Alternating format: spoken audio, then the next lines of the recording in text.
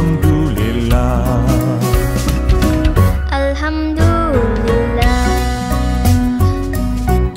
Now I have some friends of my own They started asking what will we be Will we have victory? Will we be rich? I tell them